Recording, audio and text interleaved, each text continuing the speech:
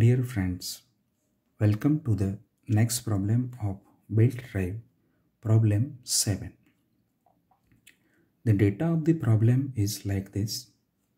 A casting having a mass of 1 ton is suspended freely from a rope.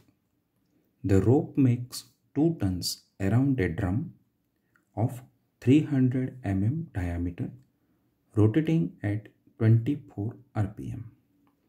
The other end of the rope is pulled by man. Calculate the force required by the man, power to raise the casting, and the power supplied by drum run by a prime mover. Take mu is equal to 0.3. Dear friends, let us first prepare the diagram for given condition. the diagram is like this. Here a drum is given which rotates to raise this casting by a prime mover. The rope makes two round around the drum and another end is pulled by a man. As the casting is raised, so the rope end connected to the casting will be a tight side. And as the rope is makes 2 turns so the angle of lap will be 2 circular periphery of the drum.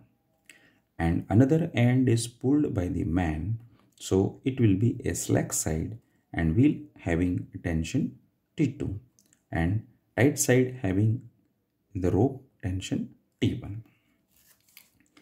The data given related to this are that the diameter of the drum is given 300 mm that is 0.3 meter. The drum is rotating at speed n is equal to 24 rpm.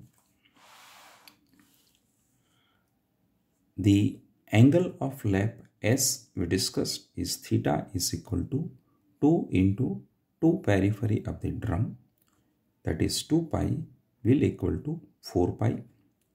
Mass of the casting is 1 ton that is equal to 1000 kilogram. Now power supplied by the prime mover so it can be written P is equal to difference of two side tension tight side tension T1 minus slack side tension T2 into peripheral velocity of the drum V and here T1 is nothing but the gravitational force acting of the casting.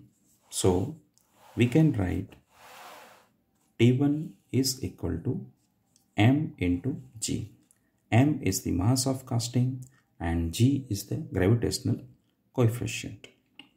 So substituting the values we found T1 is equal to 1000 into 9.81 and on calculation we find it is equal to T1 equal to 9810 Newton.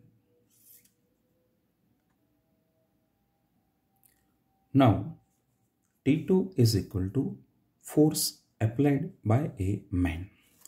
We know the relation between two tensions, tight side tension and slack side tension. That is T1 upon T2 is equal to e raised to mu theta, where mu is coefficient of friction and theta is angle of lap. So we can rearrange this relation and write T2 is equal to T1 upon e raised to mu theta. Substituting these values of T1, mu and theta and on calculation we found slack side tension T2 is equal to 226.16 Newton. now the peripheral velocity v is given by pi dn by 60 where d is diameter in meter and n is rotational speed of drum in rpm. Substituting these values pi it becomes pi into 0.3 into 24 divided by 60 on calculation we found is equal to 0.377 meter per second. Now, power supplied by the prime mover is given by P is equal to, as we have written earlier, difference of two tensions, tight side tension T1 minus slack side tension T2 into peripheral velocity. Substituting all these non-values, T1 is equal to 9810 minus T2 is equal to 226.16 into velocity is equal to 0.377. On calculation, we found that power P is equal to 3613 watt is equal to 3.613 kilowatt. And power to raise the casting is given by P1 is equal to tension on tight side which is used to raise the casting into velocity of casting and velocity of casting will be equal to the peripheral velocity of the drum. So substituting these two values T1 that is 9810 into V is equal to 0.377 we found P1 is equal to 3698 watt that is equal to 3.698 kilowatt. So now we can write the three answers to the questions. One, force required by the main T2 is equal to 2 to 6.16 Newton.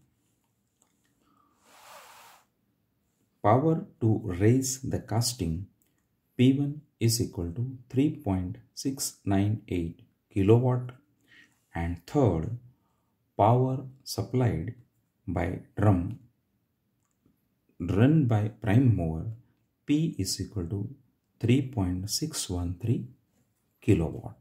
So this ends the problem. Thank you very much.